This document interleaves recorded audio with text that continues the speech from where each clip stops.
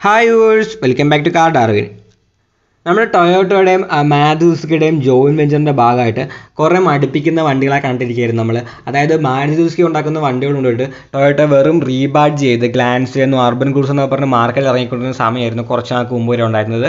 ടൊയോട്ടയുടെ ഭാഗത്തു നിന്ന് നല്ലൊരു പ്രോഡക്റ്റ് കൊണ്ട് തന്നെ കുറേ നാളായി. അങ്ങനെ എല്ലാവരും കാത്തിരിക്കുകയായിരുന്നു. കാത്തിരിപ്പിന്റെ അവസാനം ഇപ്പോൾ ടൊയോട്ടയുടെ ഹൈ റൈഡർ അവർ ലോഞ്ച് ചെയ്തിരിക്കുകയാണ്. ഈ ഒരു വണ്ടി നോക്കിയാണെങ്കിലും ഈ വണ്ടിയും ടൊയോട്ടയുടെയും മാരുതിയുടെയും ആ ഒരു ജോയിൻ വെഞ്ചറിൽ ഉണ്ടായ വണ്ടി തന്നെയാണ്. പക്ഷേ ഇവന്റെ ഡിസൈൻ നോക്കിയാലും ഇതിന്റെ ബാക്കിയുള്ള എവിടെ നോക്കിയാലും നമുക്ക് എല്ലായിടത്തും ടൊയോട്ടയുടെ ആ ഒരു ഡിസൈനും ടൊയോട്ടയുടെ ടച്ച് കാണാൻ പറ്റും. ഈ വണ്ടി നിർമ്മിക്കുന്നതും ടൊയോട്ടയുടെ പ്ലാനിൽ തന്നെയാണ്. അങ്ങനെ അവസാനം ടൊയോട്ടയുടെ ഭാഗത്ത് നിന്ന് ഇന്ത്യയ്ക്ക് വേണ്ടി ഒരു പ്രോഡക്റ്റ് വന്നിരിക്കുകയാണ്. നമുക്ക് ഈ ഒരു വണ്ടിയിൽ എന്തൊക്കെ പുതുമകളുള്ളതെന്ന് ഈ ഒരു വീഡിയോയിൽ നോക്കാം. ഈ വീഡിയോയിലേക്ക് പോകുന്ന മുമ്പ് നിങ്ങൾക്ക് ഈ ചാനൽ ഇഷ്ടപ്പെട്ടെങ്കിൽ ദയവായി ഈ വീഡിയോ ലൈക്ക് ചെയ്യുക. നിങ്ങളുടെ ഓരോ ലൈക്കും ഞങ്ങൾക്ക് വളരെ വിലപ്പെട്ടതാണ്. ഈ ഒരു വരവ് വെറുതെ ഒന്നുമല്ല ഒരുപാട് സെഗ്മെന്റ് ഫസ്റ്റ് ഫീച്ചേഴ്സ് ഒക്കെ ആയിട്ടാണ് ഈ ഒരു വാഹനം വന്നിരിക്കുന്നത്. അതിൽ ഏറ്റവും എടുത്തു വരേണ്ട കാര്യം ഈ ഒരു വണ്ടിയിൽ സ്ട്രോങ് ഹൈബ്രിഡും കൊടുത്തിട്ടുണ്ട് മൈൽഡ് ഹൈബ്രിഡും കൊടുത്തിട്ടുണ്ട്.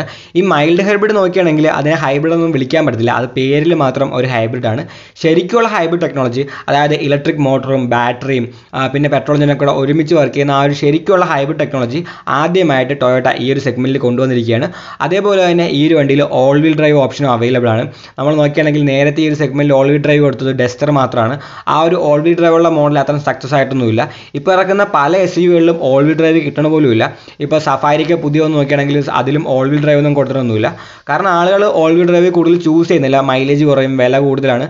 അങ്ങനെയുള്ള കാരണം പറഞ്ഞ് ഓൾ വീൽ ഡ്രൈവ് ആരും വാങ്ങുന്നില്ല. എന്നാലും ഒരു എസ് യു എന്നൊക്കെ പറയുമ്പം അതിന് ഓൾ വീൽ ഡ്രൈവ് വേണ്ട ഒരു കാര്യം തന്നെയാണ്. അങ്ങനെ ഓൾ വീൽ ഡ്രൈവും കുറേ നാൾക്ക് ശേഷം ഈ ഒരു സെഗ്മെന്റിലേക്ക് ടൊയോട്ട കൊണ്ടുവന്നിരിക്കുകയാണ്. വണ്ടിയുടെ ഡിസൈൻ നോക്കുകയാണെങ്കിൽ ശരിക്കും ഒരു ടൊയോട്ട പോലെ ഇരിക്കുന്ന ഇതിനു മുമ്പ് വന്ന അർബൻ ക്രൂസർ പോലെ ഒന്നുമല്ല ടൊയോട്ടയുടെ ഇന്റർനാഷണൽ മോഡലുകൾ അതായത് ടൊയോട്ടയുടെ ആ ഒരു വലിയ വണ്ടികളിലൊക്കെ ഡിസൈൻ ഇൻസ്പയർ ചെയ്തതിന് തനതായ ടൊയോട്ട ഡിസൈൻ തന്നെയാണ് ഈ ഒരു വാഹനം വന്നേക്കുന്നത്. മാരുതിയുടെ വണ്ടി പോലെ നമുക്ക് തോന്നുന്നില്ല ശരിക്കും ഒരു ടൊയോട്ട തന്നെയാണ് എന്ന് പറയുന്നത്. പിന്നെ വണ്ടിയുടെ ആ ഒരു ഹൈബ്രിഡ് ബാഡ്ജ് കൊടുത്തേക്കുന്ന ആ ഒരു ഭാഗം നോക്കുകയാണെങ്കിൽ ഡോറയിൽ കൊടുത്തേക്കുന്ന. ടൊയോട്ടയുടെ ഇന്റർനാഷണൽ മോഡലുകളുടെ അതായത് ഹൈബ്രിഡ് മോഡലുകളുടെ ബാഡ്ജ് കൊടുക്കുന്ന ഇതേപോലെ ഡോറയിലാണ് ആ സെയിം സ്ഥലത്ത് തന്നെയാണ് ഹൈ റൈഡറിന്റെയും ആ ഒരു ഹൈബ്രിഡ് എന്ന് പറഞ്ഞ ആ ഒരു ബാഡ്ജ് കൊടുത്തേക്കുന്നത്. വണ്ടിയുടെ ഗ്രില്ലും അതേപോലെ ഭാഗങ്ങളൊക്കെ നോക്കുകയാണെങ്കിൽ ടൊയോട്ടയുടെ ആ ഒരു തനതായിട്ടുള്ള ഡിസൈൻ തന്നെയാണ്. ഗ്രില്ലിന്റെ അവിടെ നോക്കുകയാണെങ്കിൽ ഒരു പിയാനോ ബ്ലാക്ക് ഫിനിഷ് കൊടുത്തേക്കുന്നത്. അതിലൊരു ക്രോം സ്ട്രിപ്പും കൊടുത്തിട്ടുണ്ട്. ഈ ക്രോം സ്ട്രിപ്പാണ് ആ രണ്ട് L E D D R എൽസിനെ separate ചെയ്യുന്നത്. വലിയ ഒരു എയർ കൊടുത്തേക്കുന്നത്. നമ്മൾ ആ ഒരു ടൊയോട്ട ഗ്ലാൻസിൽ കണ്ട പോലത്തെ അതേപോലത്തെ ഒരു എയർ ഡാമ വണ്ടിയിൽ കൊടുത്തേക്കുന്ന അതിന്റെ അപ്പുറത്തായിട്ട് തന്നെയാണ് വണ്ടിയിൽ എൽ ഇ ഡി ഹെഡ് ലാമ്പും വന്നേക്കുന്നത്. നമ്മൾ ആ ഒരു പഞ്ചിലെ കണ്ട പോലെ തന്നെ ഇപ്പോൾ ട്രെൻഡ് എടുത്തിരിക്കുന്ന ഡിസൈൻ ആയിട്ടുള്ള ഡി ആർ എൽ പൊക്കത്തും ഹെഡ് ലാമ്പ് താഴത്തും ആ ഒരു ഡിസൈനിലാണ് ഈ ഒരു വണ്ടിയിൽ വന്നേക്കുന്നത്. പതിനേഴ് ഇഞ്ചിന്റെ അലോവിൽസ് വണ്ടിയിൽ കൊടുത്തേക്കുന്നത്. റിയറിലേക്ക് വരുമ്പം ഒരു സ്ലിം ആയിട്ടുള്ള ടൈൽ ലാമ്പാണ് കൊടുത്തേക്കുന്നത്. റിയറിലെ ലുക്ക് നോക്കിയാലും ആർക്കും ഒരു സംശയം തോന്നുന്നത് ഇതൊരു ടൊയോട്ട തന്നെയെന്ന് പറയാൻ പറ്റും. ടൊയോട്ടയുടെ ആ ഒരു ഇന്റർനാഷണൽ ലുക്ക് തന്നെയാണ് ഈ ഒരു വണ്ടിക്ക് മൊത്തത്തിൽ കിട്ടിയിരിക്കുന്നത്. പതിനൊന്ന് കളറുകളിൽ വണ്ടി അവൈലബിൾ ആയിരിക്കും എന്ന് പറയുന്നത്. അതിൽ തന്നെ നാലെണ്ണം ഡ്യുവൽ ടോൺ കളേഴ്സ് ആയിരിക്കും. പിന്നെ ഇതിന്റെ ഒരു മാരുതി വേർഷനും ഉടനെ തന്നെ ഇറങ്ങുമെന്നാണ് പറയുന്നത്. ഈ ഒരു സെയിം സാധനം തന്നെ മാരുതിയുടെ ബാഡ്ജ് വെച്ച് മാരുതിയുടെ ഒരു വണ്ടിയായിട്ട് ഉടനെ തന്നെ ഇറങ്ങുമെന്ന് പറയുന്നുണ്ട്. ഈ ഒരു വണ്ടി നിർമ്മിച്ചത് ആ ഒരു ടൊയോട്ടയുടെയും നമ്മുടെ മാരുതി സുസുക്കിയുടെയും കൂടെ ടൈപ്പിന്റെ ഭാഗമായിട്ടാണെങ്കിലും നമ്മൾ പുറമേ നോക്കുമ്പോൾ നമുക്ക് ആ ഒരു സുസുക്കി ടച്ചൊന്നും അധികം കാണാൻ പറ്റത്തില്ല. പക്ഷെ നമ്മൾ ഇന്ത്യയിലേക്ക് വരാൻ നേരത്ത് നമുക്ക് ഒരുപാട് സുസുക്കി ടച്ചസ് ഈ ഒരു സാധനത്തിൽ കാണാൻ പറ്റും. അതായത് ഡാഷ് ബോർഡ് ഡിസൈൻ നോക്കിയാൽ നമ്മുടെ ആ ഒരു ബ്രസയിലും ഗ്ലാൻസിലൊക്കെ കണ്ട അതേപോലത്തെ ഒരു ഡാഷ് ബോർഡ് ഡിസൈനാണ് ഈ ഒരു വണ്ടിയിൽ വന്നേക്കുന്നത്. ഏതാണ്ട് അതേപോലെയാണ് ഇരിക്കുന്നത്. പിന്നെ വണ്ടിയിൽ ഒരുപാട് ലെതറൊക്കെ യൂസ് ചെയ്തിട്ടുണ്ട്. പാഡഡ് ലെതറാണ് വണ്ടിയിൽ യൂസ് ചെയ്തേക്കുന്നത്.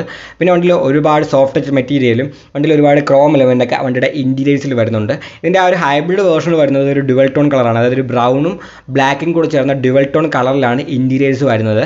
എന്നാൽ ആ ഒരു മൈൽഡ് ഹൈബ്രിഡുള്ള മോഡലിൽ ബ്ലാക്ക് തീമിലാണ് ഇതിന്റെ ഇന്റീരിയേഴ്സ് വരുന്നത്.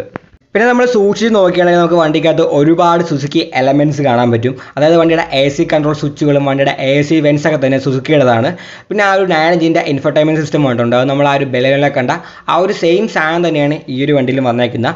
വണ്ടിയുടെ സ്റ്റിയറിംഗ് വീലും സുസുക്കിയുടേതാണ് പിന്നെ ആ ഒരു ഹെഡ്സപ്പ് ഡിസ്പ്ലേ നമ്മൾ ആ ഒരു ബെലയിലെ കണ്ട ആ സെയിം ഹെഡ്സപ്പ് ഡിസ്പ്ലേ തന്നെയാണ് ഈ ഒരു വണ്ടിയിലും കൊടുത്തേക്കുന്നത്. വണ്ടിയിൽ ത്രീ സിക്സ്റ്റി ഡിഗ്രി ക്യാമറ വരുന്നുണ്ട്. വണ്ടിയിൽ വയർലെസ് ഫോൺ ചാർജിങ് കൊടുത്തിട്ടുണ്ട്. അതേപോലെ തന്നെ കണക്റ്റഡ് കാർട്ടൊക്കെ ഉണ്ട്. നമ്മുടെ വണ്ടിയും ഫോണുമായിട്ട് കണക്ട് ചെയ്യാൻ പറ്റുന്ന ആ ഫീച്ചേഴ്സൊക്കെ ഉണ്ട്. അതുവഴി തന്നെ നമുക്ക് അമ്പത്തഞ്ചോളം കാര്യങ്ങൾ കൺട്രോൾ ചെയ്യാൻ പറ്റുന്ന പറയുന്നത്. പിന്നെ വണ്ടിയിൽ വോയിസ് കമാൻഡ് ഒക്കെ ഉണ്ട്. നമ്മുടെ ഗൂഗിൾ അസിസ്റ്റന്റും സിറിയൊക്കെ വണ്ടിയിൽ സപ്പോർട്ട് ചെയ്യുന്നതാണ്. വണ്ടിയിൽ പാനോറമിക് സൺറൂഫ് ഉണ്ട്. പിന്നെ ഫ്രണ്ട് സീറ്റ്സ് രണ്ടും വെന്റിലേറ്ററാണ് അതേപോലെ തന്നെ ക്രൂയിസ് കൺട്രോൾ ഉണ്ട്. ആംബിയൻ ലൈറ്റ് കൊടുത്തിട്ടുണ്ട്. ഈ ഒരു വണ്ടിയുടെ ഏറ്റവും വലിയ ഹൈലൈറ്റ് എന്ന് പറയുന്നത് ഇതിന്റെ ആ ഒരു ഹൈബ്രിഡ് സിസ്റ്റമാണ് അതാണ് നമ്മൾ ഏറ്റവും എടുത്തു വരേണ്ട കാര്യം. ഈ ഒരു സെഗ്മെന്റിൽ ആദ്യമായിട്ടാണ് ഇങ്ങനെ ഒരു ഹൈബ്രിഡ് വാഹനം വന്നേക്കുന്നത്. ഇത് ടൊയോട്ടയുടെ ഇന്റർനാഷണലുള്ള മോഡലിൽ കാണുന്ന ആ സെയിം ഹൈബ്രിഡ് ടെക്നോളജി തന്നെയാണ് ഈ ഒരു വണ്ടിയിലും യൂസ് ചെയ്തിരിക്കുന്നത്. അതായത് ടൊയോട്ടയുടെ ഇ ഡ്രൈവ് ഹൈബ്രിഡിന്റെ ഫോർത്ത് ജനറേഷൻ ടെക്നോളജികളാണ് ഇതിൽ വന്നേക്കുന്നത്. ഇതിന്റെ പവർ ട്രെയിൻ നോക്കുകയാണെങ്കിൽ ഒരു one point five litre three cylinder petrol എഞ്ചിനും ഉണ്ട് ഒരു ഇലക്ട്രിക് മോട്ടറും ഉണ്ട്. പെട്രോൾ എഞ്ചിന്റെ പവർ എന്ന് പറയുന്നത് തൊണ്ണൂറ്റി രണ്ട് എച്ച് പി ആണ്. ടോർക്ക് നോക്കിയാണെങ്കിൽ നൂറ്റി ഇരുപത്തിരണ്ട് എണ്ണമാണ് അതേപോലെ തന്നെ ഇലക്ട്രിക് മോട്ടറിന്റെ എന്ന് പറയുന്നത് എഴുപത്തി ഒമ്പത് എച്ച് പിയും നൂറ്റി നാൽപ്പത്തി ഒന്ന് എൻ എം ആണ്. പിന്നെ ഈ C V T gear box കൊടുത്തേക്കുന്നത്. ഈ ഡ്രൈവ് ട്രാൻസ്മിഷൻ കൊടുത്തേക്കുന്നത്. അതേപോലെ തന്നെ ഒരു ബാറ്ററിയും വരുന്നുണ്ട്. ഇതൊരു നൂറ്റി എഴുപത്തി ഏഴ് പോയിന്റ് ആറ് വാട്ടിന്റെ ലിഥിയം അയോൺ ബാറ്ററിയാണ് ഈ ഒരു വണ്ടിക്ക് ഇലക്ട്രിക് ഓൺലി ആയിട്ട് അതായത് നമുക്ക് ഫുള്ളി ഇലക്ട്രിക്കിൽ സഞ്ചരിക്കാൻ പറ്റും. ഇരുപത്തഞ്ച് കിലോമീറ്ററോളം അങ്ങനെ ഫുള്ളി ഇലക്ട്രിക് ആയിട്ട് സഞ്ചരിക്കാൻ പറ്റുമെന്നാണ് പറയുന്നത്. അതേപോലെ തന്നെ ഹൈബ്രിഡ് ആയിട്ട് പോകുമ്പം ഇതിന്റെ മൈലേജ് എന്ന് പറയുന്നത് ഏകദേശം ഇരുപത്തിനാല് മുതൽ ഇരുപത്തഞ്ച് കിലോമീറ്റർ പെർ ലിറ്റർ വരെയാണ്. ഇതിന്റെ ഹൈബ്രിഡ് വേരിയന്റ് എന്ന് പറയുന്നത് എസ് ജി വി എന്നിങ്ങനെ മൂന്ന് വേരിയന്റുകളിലാണ് ഇതിന്റെ ഫുൾ ഹൈബ്രിഡ് ആയിട്ടുള്ള വണ്ടി അവൈലബിൾ ആയിട്ടുള്ളത്. ഫുൾ ഹൈബ്രിഡിൽ ഫ്രണ്ട് വീൽ ഡ്രൈവ് മാത്രമേ അവൈലബിൾ ആയിട്ടുള്ളൂ. പിന്നെ ഉള്ളത് മൈൽഡ് ഹൈബ്രിഡ് മോഡലുകളാണ് അതിനകത്ത് ഇ എസ് ജി വി അങ്ങനെ നാല് വേരിയന്റ് കൊണ്ടുണ്ട് ആ ഒരു മൈൽഡ് ഹൈബ്രിഡിലാണ് നമുക്ക് ഓൾ വീൽ ഡ്രൈവ് കിട്ടുന്നത്. അടുത്തൊരു എഞ്ചിൻ എന്ന് പറയുന്നത് നമുക്ക് എല്ലാവർക്കും വളരെ സുപരിചിതമായ നമ്മൾ മാരുതിയിലെ വണ്ടികൾ കണ്ട ആ ഒരു one point five litre K fifty C എഞ്ചിനാണ് നമ്മൾ ആ ഒരു എയർട്ടിഗയിലും എക്സൽസിലും ബ്രസയിലൊക്കെ കണ്ട ആ സെയിം എഞ്ചിൻ തന്നെ. ഇതെന്ന് പറയുന്നത് ഒരു one point five litre four cylinder petrol എഞ്ചിനാണ് ഇതിൽ ആ ഒരു മൈൽഡ് ഹൈബ്രിഡ് ടെക്നോളജി വരുന്നുണ്ട് നമ്മുടെ മാരുതിയുടെ വാഹനങ്ങളിൽ കണ്ട പോലത്തെ ആ ഒരു ടെക്നോളജിയിൽ കൊടുത്തേക്കുന്നത്.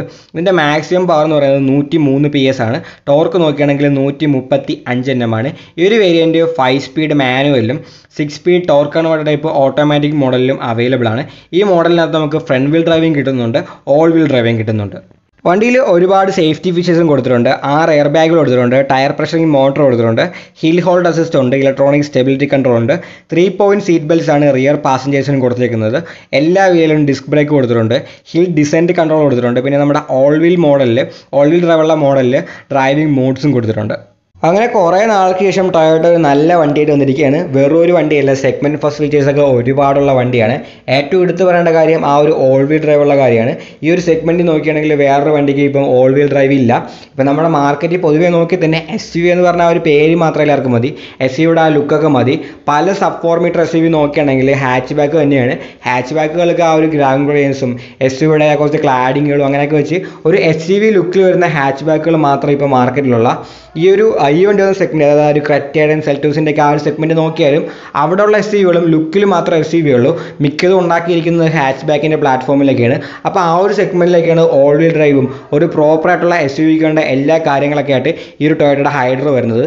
വണ്ടിയുടെ എക്സ്പെക്ട് ചെയ്തിരിക്കുന്ന പ്രൈസ് നോക്കുകയാണെങ്കിൽ പത്തര ലക്ഷം രൂപയാണ്. പത്തര ലക്ഷം രൂപ വണ്ടിയുടെ പ്രൈസ് സ്റ്റാർട്ട് ചെയ്തിരിക്കുന്നതെന്ന് പറയുന്നത്. ആ ഒരു പ്രൈസിൽ വരികയാണെങ്കിൽ അടിപൊളി വണ്ടി തന്നെയായിരിക്കും ഹൈ റൈഡർ എന്ന് പറയുന്നത്. കാരണം ഇതിന്റെ എതിരാളികളൊക്കെ നോക്കുകയാണെങ്കിൽ ക്രെറ്റ സെൽറ്റോസ് ഫോക്സ് വാഗന്റെ ടൈഗൂണ് സ്കോള ക്യൂഷിയാക്ക അങ്ങനെ ഒരുപാട് എതിരാളികൾ ഈ വണ്ടിക്കുണ്ട്.